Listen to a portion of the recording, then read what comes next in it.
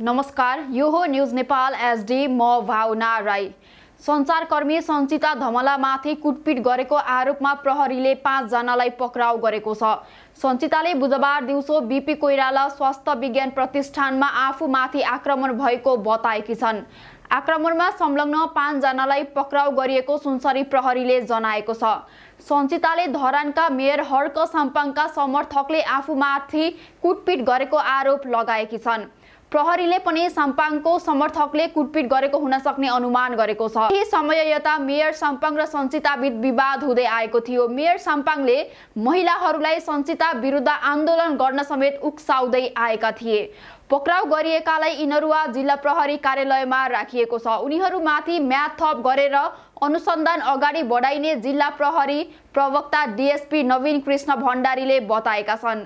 सञ्चारकर्मी सञ्चिताका अनुसार उनी उपचारका लागि बिपी कोइराला स्वास्थ्य विज्ञान प्रतिष्ठान पुगेकी थिइन्। उनले फेसबुकमा लेखेकी छन् म बिरामी अवस्थामा बिपी कोइराला स्वास्थ्य विज्ञान प्रतिष्ठानको एक्सरे कोठामा पालोमा थिएँ।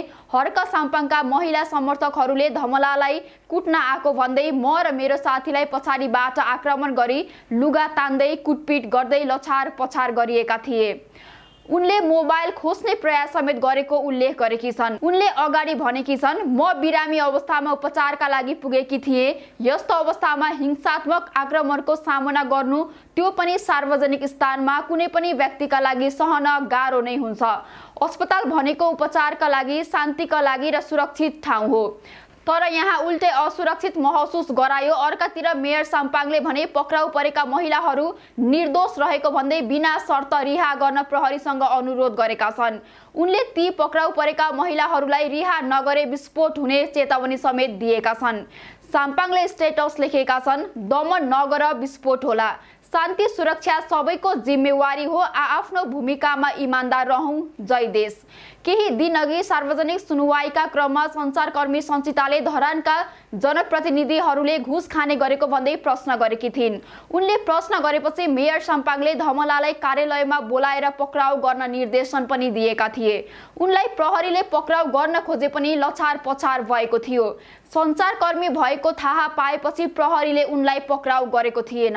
सञ्चितालाई कारवाही नभएको भन्दै मेयर हर्क साम्पाङले कारवाहीका लागि गृह मन्त्रालयमा समेत पत्र पठाएका थिए।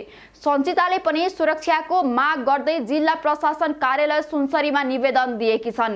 यस्तै यस्तै सूचना समाचार र मनोरञ्जनात्मक सामग्रीका लागि हामीसँग जोडिनुहोला। अर्को पटक नयाँ विषयवस्तुका साथ उपस्थित हुनेछु। तबसम्मलाई बिदा चाहन्छु। हौस् त नमस्ते।